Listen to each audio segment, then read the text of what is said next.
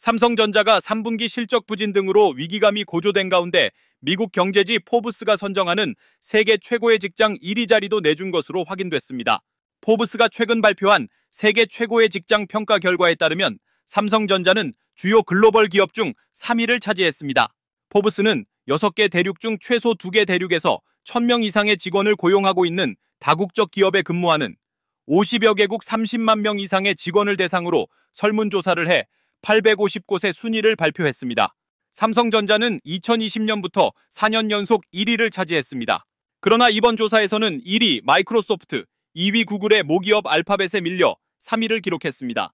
지난해 주력인 반도체 업황 악화로 반도체 사업에서만 15조 원에 육박하는 적자를 낸 데 이어 성과급에 대한 불만 표출 등에 따른 영향으로 분석됐습니다. 포브스 조사에서 한국 기업은 물론 아시아 기업 중 상위 10위 안에 이름을 올린 것은 삼성전자가 유일합니다. 미국 디자인 소프트웨어 기업 어도비가 4위에 올랐고 BMW 그룹과 델타 항공, 에어버스, 이케아, 레고 그룹, IBM 등이 10위권에 이름을 올렸습니다.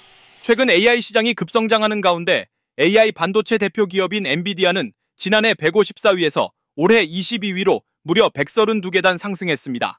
반면 지난해 4위였던 애플은 11계단 하락해 15위에 그쳤습니다. 올해 조사에서 한국 기업은 삼성전자를 비롯해 총 24곳이 선정됐는데 KB금융그룹, 신한금융그룹, 기아, IBK 기업은행, 현대차 등입니다.